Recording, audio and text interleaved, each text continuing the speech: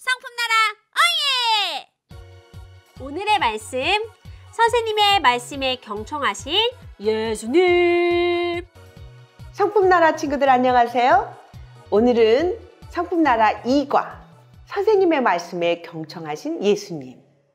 오늘 예수님을 통해서 어떻게 경청해야 되는지를 배우는 우리가 되기를 바랍니다. 성경 말씀, 성품 나라에 있는 말씀 여러분 페이지 찾아보세요. 성품 나라 2과 찾아보시면 되겠습니다. 누가복음 2장 41절 말씀이에요. 누가복음 2장 41절. 예수님이 12살 되던 해의 이야기입니다. 여기 친구들 12살 친구들 손 좀 들어보세요. 아, 12살 친구? 예수님의 나이네요. 그의 부모가 해마다 6월절이 되면 에루살렘으로 가더니 예수께서 12살 되었을 때에 그들이 이 절기의 갈래를 따라 올라갔다가 그날들을 마치고 돌아갈 때에 아이 예수는 예루살렘에 머무셨더라. 그 부모는 이를 알지 못하고 동행 중에 있는 줄로 생각하고 하루 길을 간 후 친족과 아는 자 중에서 찾되 만나지 못함에 찾으면서 예루살렘에 돌아갔더니 사흘 후에 성전에서 만난즉 그가 선생님들 중에 앉으사 그들에게도 듣기도 하시며 묻기도 하시니 듣는 자가 다 그 지혜와 대답을 놀랍게 여기더라. 그의 부모가 보고 놀라며 그의 어머니는 이르되 아이야 어찌하여 우리에게 이렇게 하였느냐 보라 내 아버지와 내가 근심하여 너를 찾았노라. 예수께서 이르시되 어찌하여 나를 찾으셨나이까 내가 내 아버지 집에 있어야 될 줄을 알지 못하셨나이까 하시니 그 부모가 하신 말씀을 깨닫지 못하더라. 예수께서 함께 내려가사 네사렛에 이르러 순종하여 받드시더라. 그 어머니는 이 모든 말을 마음에 두니라. 예수는 지혜와 키가 자라가며 하나님과 사람에게 더욱 사랑스러워 가시더라. 성품나라 2과입니다.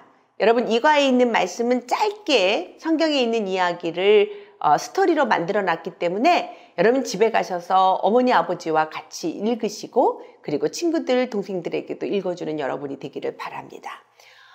예수님 12살 됐던 해에 6월절을 맞이해서 네 예루살렘으로 온 가족이 갔죠. 6월절마다 예루살렘으로 가서 네, 하나님께 예배하고 그리고 절기와 갈래를 지키는 그런 민족의 큰 행사를 마치고 부모들은 이제 고향으로 내려가기 위해서 떠난 거죠. 어? 예수님이 안 보이는 거예요. 얼마나 놀라웠겠어요? 엄마 아버지는 어유 우리 예수가 없어졌다고 엄마는 엉엉 우셨을 거예요. 울고 있는 엄마에게 아마 아빠는 이렇게 말씀하셨을 거예요. 진정하세요. 우리 오던 길을 뒤돌아갑시다. 예루살렘까지 가면 어쩌면 예수가 거기 있을지도 몰라요. 하면서 왔던 길을 그대로 다시 간 거예요. 얼마나 걱정했을까요? 그리고 온 식구들은 정말 어떻게 이제는 다시는 못 만나면 어쩌나 하고 걱정하면서 예수님을 찾아 헤매며 갔죠. 그런데 놀랍게도 예수님은 성전에 있는 거예요. 그런데 그 모습은 너무 놀라웠어요. 12살의 예수님은 묻기도 하고 질문하기도 하고 고개를 끄덕이기도 하고 선생님이 물으시면 대답하기도 하는 이런 놀라운 모습을 보이면서 어린아이 예수께서 그 어마어마한 율법 학자들이랑 함께 있는 거였어요. 이 모습을 본 엄마 아빠는 너무 놀라워서 어떻게 네가 여기 있을 수가 있어? 말도 안 하고 어떻게 이럴 수가 있어? 라고 이야기했을 때 예수님은 너무 놀랍게도 내가 아버지 집에 있어야 하는 줄 몰랐습니까? 라고 대답했다는 거예요. 역시 예수님은 아주 어렸을 때부터 하나님께서 보내신 하나님의 아들이셨던 거죠.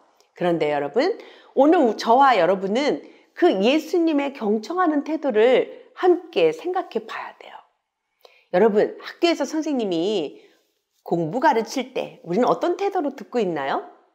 하품하고 껌을 쥐강쥐강 먹거나 아니면 졸거나 아니면 선생님 쳐다보지도 않고 딴짓하지 않아요? 그런데 예수님은 그렇게 하지 않았다는 거예요. 눈을 똑바로 선생님을 쳐다보고 귀는 쫑긋쫑긋 고개를 끄덕이면서 선생님이 하시는 말씀들을 집중하여 들은 거예요. 그리고 질문하는 거예요. 맞아요. 우리는 학교에서 선생님이 우리를 가르치실 때 질문하나요? 선생님들이 질문 있나요? 그러면 아니요, 없어요. 우리는 이렇게 말하지 않나요? 그런데 질문하는 거예요. 잘 경청하는 사람은 잘 들었기 때문에 잘 질문하죠. 질문하고요. 그리고요, 그냥 스치고 지나가는 게 아니에요. 묻기도 하는 거예요. 선생님, 그런데 그것은 어떻게 그렇게 할 수 있나요? 이거는 왜 그런가요? 이렇게 물었던 거죠. 경청의 태도는요, 말하는 사람의 눈을 쳐다보고 말하는 거예요. 고개를 끄덕이는 거죠. 그리고 모르는 것 있으면 질문하는 거예요. 그리고 내 태도가요, 아, 당신 말 듣기 싫어요. 아, 그만해요. 이렇게 피하는 모습이 아니라 몸을 앞으로. 그래서 말씀하세요. 내가 듣겠습니다. 이런 태도여야 되는 거예요. 그리고 정말 당신을 내가 존중해요. 내가 더 하나라도 배우고 싶어요. 이런 마음으로 상대방의 말과 행동을 집중해서 듣는 태도예요. 그런 사람은요, 아무리 내가 공부 못하고 싶어도 공부 못할 수가 없어요. 그렇게 선생님의 말씀을 존중하고 다른 사람에게 집중하면서 듣는 사람. 예, 그 사람은 또 존중함을 받아요. 왜냐하면 다른 사람을 그렇게 존중했기 때문이죠. 오늘 예수님이 그런 태도를 보이셨던 거예요. 어렵기도 하고 고리타분하기도 할 것 같은 그 율법 선생님들의 이야기를 고개를 끄덕이고 눈을 쳐다보면서 모르는 것 있으면 질문하고 언제나 말씀하세요. 내가 듣겠습니다라고 하는 이 열린 태도로 듣는 모습. 이런 모습을 하고 있는 사람이 세상을 이깁니다. 이런 사람은 지식을 모아요.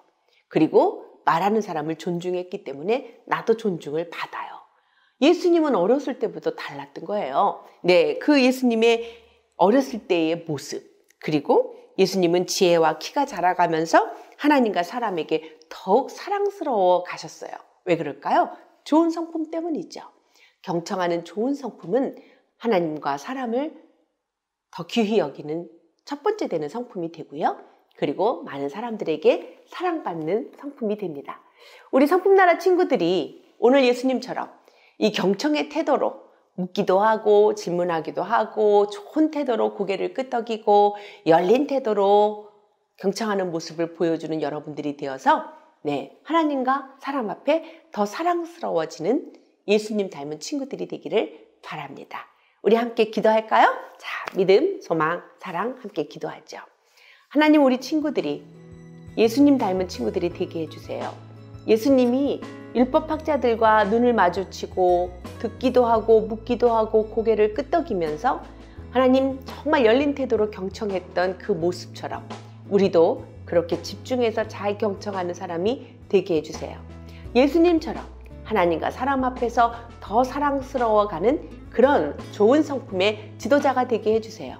하나님의 사람이 되게 해주세요. 예수님의 이름으로 기도했습니다. 아멘.